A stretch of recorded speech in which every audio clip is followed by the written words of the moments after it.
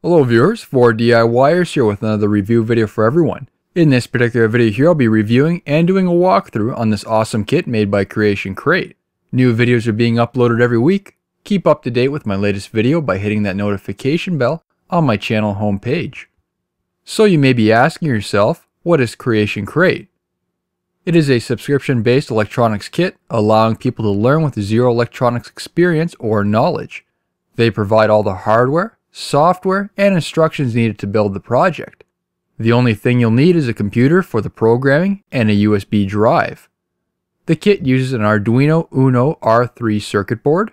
Arduino is an electronics platform which uses both software and hardware to make interactive projects. It is able to take in various inputs such as switches, sensors, or internet variables.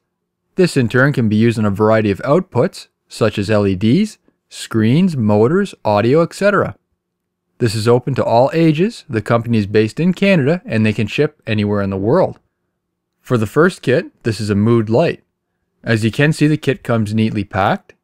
Included in the kit is everything you need to make the project, such as a light-dependent resistor, red, green, and yellow LEDs, jumper wires, U-shaped jumper wires, resistor, breadboard, Uno R3 circuit board, USB cable, and a Chinese paper lantern. Starting with the first step, we must separate the molded wires. Just simply pull these apart, no tools are required. Now we can finally build the project. As you can see, the instruction booklet is very well illustrated, giving both a description and detailed images. Installing the LEDs in the correct location, make sure you do not mix up the anode and cathode leads. Next installing the resistor and photoresistor and finally the jumper wires. Now we can move on to connecting the Arduino board. We can work on installing the longer jumper wires, which goes to the corresponding terminals on the circuit board. One step left for assembly. Expand the Chinese lantern and install the plastic brace inside. Then place it over the LEDs. Now for the coding. These booklets give you a step-by-step -step guide explaining what exactly is needed for the coding. This works both on Windows and Mac applications. For this walkthrough, I am using a MacBook. If you are working with a Mac, a driver is required so you can view the circuit board, which Creation Crate provides on their website and provides a link in their description as well. Once the driver has been installed, download the Arduino software from Arduino's website. It's very easy and straightforward, regardless of your operating system. I have tried both applications. Open the programming and then code away. Creation Crate includes an electronic version of this guide on their website, along with the coding file if you're having trouble yourself. While the coding may seem overwhelming at first, it's really not. Their instructions are easy to follow and made for anyone who has zero experience. This is actually my first time using Arduino coding. Select the type of board, what port is being used, and then upload the coding. If there are any errors, the program will automatically highlight them.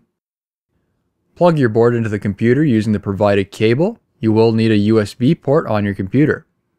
A red diode will illuminate, along with another one flashing to ensure the board is correctly connected. Once the program is uploaded, the diode will flash numerous times, and once done, will stay illuminated. The Arduino software will also say the programming has been uploaded successfully. Once done, turn the lights down or move to a darker room. The LED lights will illuminate as they work on the light sensor and watch them alter color in the Chinese lantern. Creation Crate has an awesome product for anyone wanting to learn electronics and Arduino programming.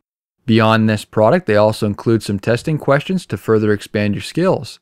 This is great for people of all ages, regardless of your skill level, and beyond making an excellent hobby, this is a great gift idea as well. And you're not just limited to one project either. These kits are easily expandable, so the only limitation is your imagination. This concludes the rest of my review video. Have you purchased this product? Leave a comment below sharing your experience. Also subscribe to my channel and give my video a thumbs up. Thank you for watching.